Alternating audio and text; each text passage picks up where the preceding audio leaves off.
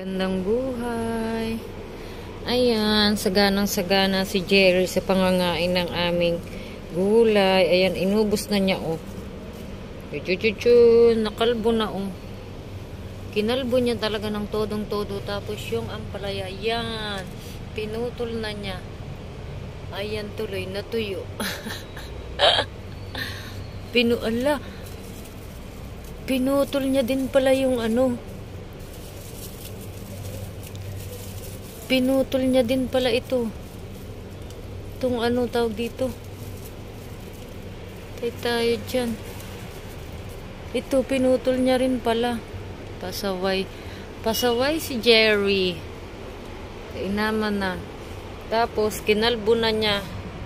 Oh, kinain niya yung ating ripol yung pagkalago-lago na. Wala na talaga lahat Kinain na niya lahat. As in, pinudpud na niya ng pudpud na pudpud lahat ng mga gulay. Wala na oh. Sana naman wag niya kainin to. Itong aming mga ampalaya. Diyos ko po, kinakabahan ako. ang lago pa naman ng ampalaya at saka nung ano, nung sayote. Ang laki na. Ayan oh, haba. Naku, tunay ka si Jerry.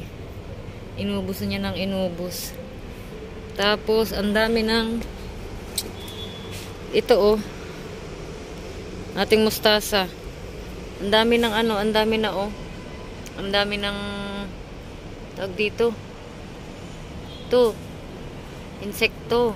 Ayan, sobrang dami na niya oh.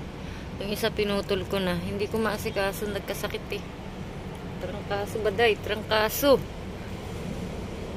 change weather nga lang ngayon sobrang init na naman tas ang init ang lamig sa gabi. Kakalungkot naman yung mga gulay ko napabayaan na. Naubos na lahat oh.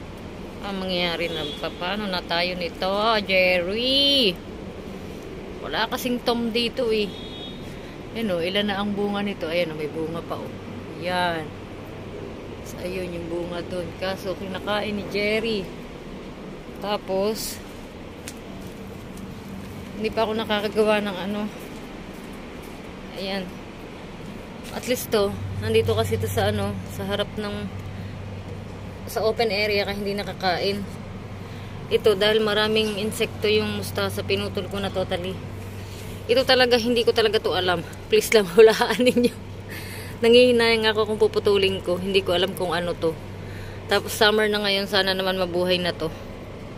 Ah may nasuloy na itong ano, balunggay. Pero green pa naman kasi yung puno niya, oh. Sana mabuhay. Tapos ayan, ang dami talaga nila mga insekto, oh.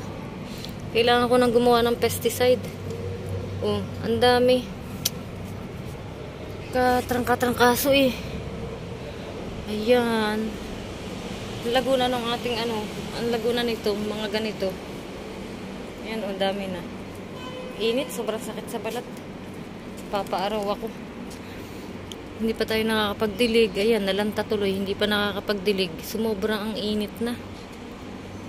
May bunga na to eh. Hindi ko alam kung nasa ng bunga nitong ayan oh.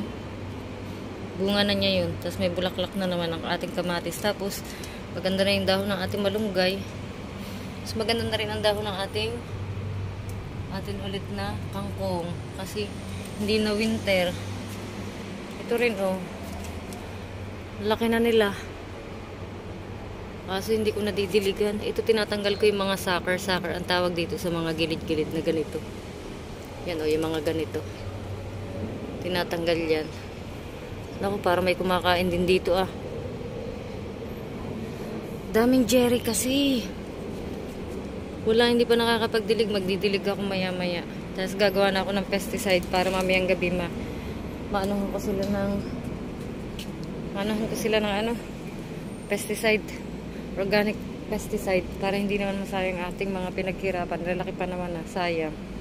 Yun po at magandang buhay.